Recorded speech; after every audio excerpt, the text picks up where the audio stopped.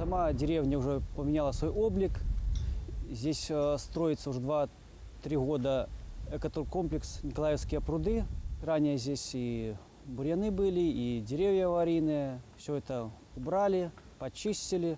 Ну, на сегодняшний день, опять же, здесь все строится, благоустраивается, не останавливается, так сказать, на достигнутом.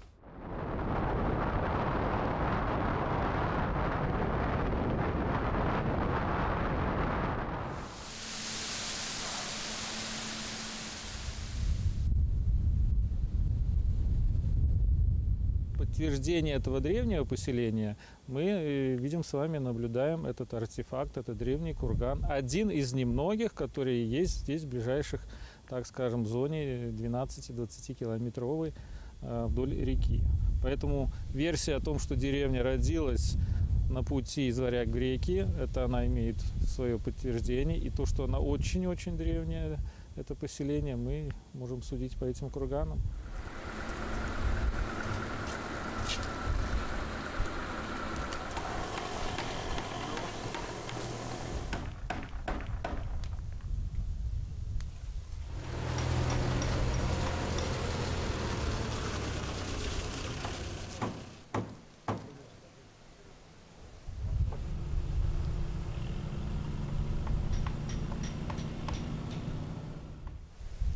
Строим домики для отдыхающих, которые будут приезжать к нам на Николаевские пруды и отдыхать, проводить свободное время, отпуска и выходные. Скажите, домики хорошие? Очень. Все необходимое для полноценного отдыха. То есть как в городе, только дышим свежим воздухом. Даже лучше.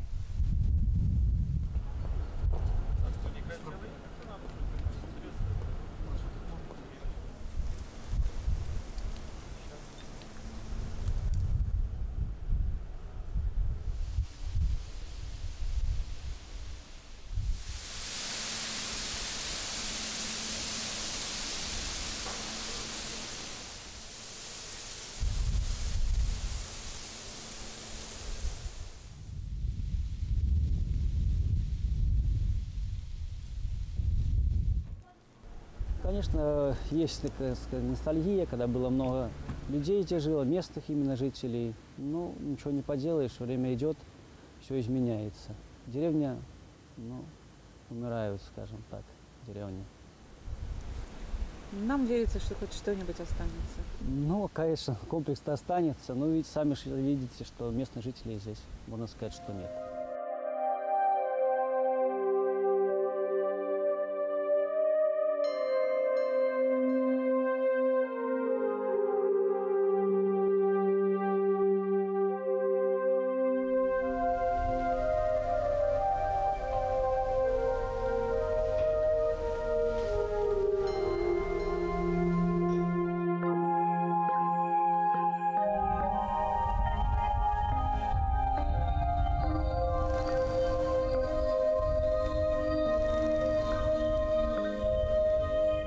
Это липовая аллея, причем липовые аллеи всегда садили вокруг панских усадеб, вокруг церквей. Связано, опять же, это с древним славянским поверьем, что липа является берегом.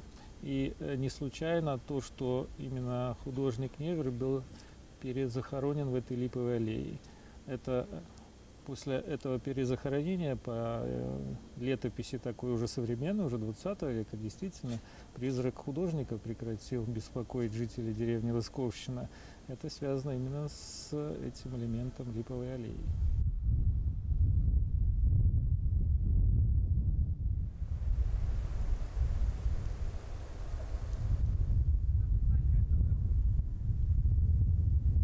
Ну, а появился он здесь благодаря знакомству с генералом Черняевым. Это большой его друг. Они познакомились в Москве. Он его пригласил погостить сюда на лето, вот в этот дом. А этот дом э, пана местного, он принадлежал ему. Недоговоренность такая была между паном, генералом и художником. Именно как бы на дачу приехать погостить, порисовать. Но это вот э, затянулось на 20 лет. И до того момента, когда уже генерал умер, покровительства он своего лишился, и фактически после этого всего владелец этого дома начал его, можно сказать, красивую картину выселения.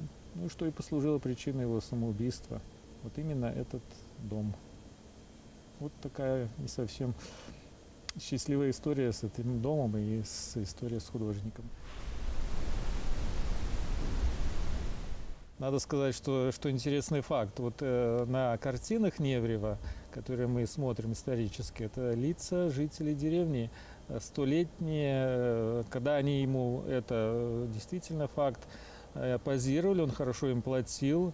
И его особенность в том, что он не рисовал, как бы скажем, с головы. Он именно э, писал картины с натуры, то есть лица, если мы берем какого-нибудь князя известного на картине, то это, это лицо местного жителя. А,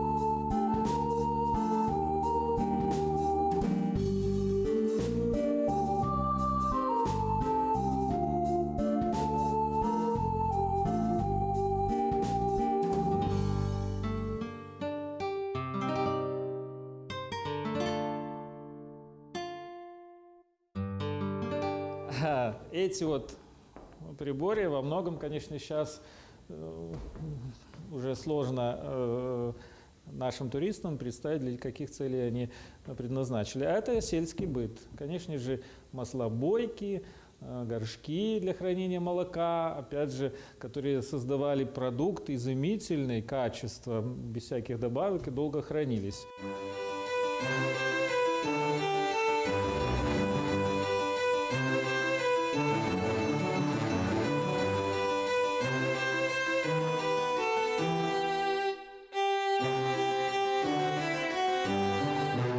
Эта вот местность, где мы живем, она, на- она столько полна всяких интересных явлений, вещей и людей, что мы просто собираем это все до кучи, так скажем.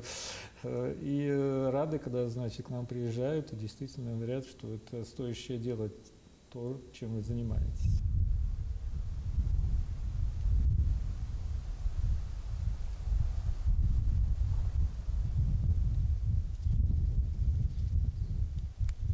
Для многих это ну, не столько политический такой музей, скажем так, атрибутики, это музей молодости, это всегда, особенно когда люди смотрят такие бытовые вещи, которые вспоминают, какие были у них в детстве, как это все было весело, беззаботно, и вот это вот главная функция вот этого музея – это нести позитив людям, э, хорошие воспоминания их, э, ну, так скажем, пробуждать, ну и, соответственно, э, новому поколению смотреть, что Советский Союз это были свои плюсы, были свои минусы.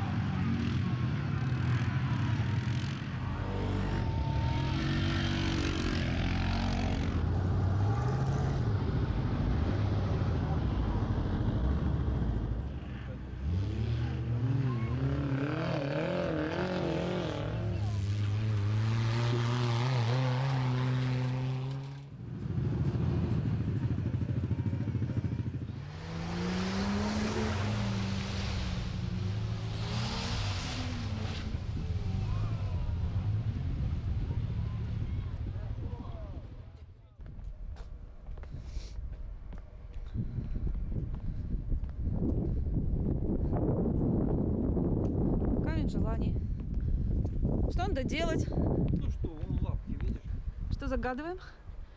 Что, как всегда, здоровьем близким и родным. И счастья всем людям. Надави, сбудется.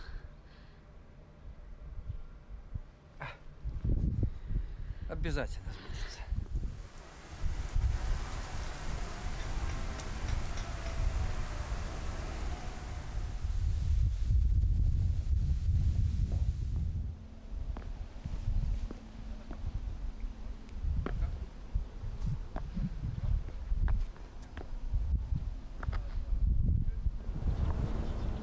Теперешняя Лысковщина мне очень нравится, потому что здесь нравится не только нам работать, но нравится всем, кто приезжает сюда отдыхать. Кто к нам приезжает однажды приехав, еще раз приезжают. Вот как вы считаете, этой деревне повезло, что у нее теперь новый облик? Конечно.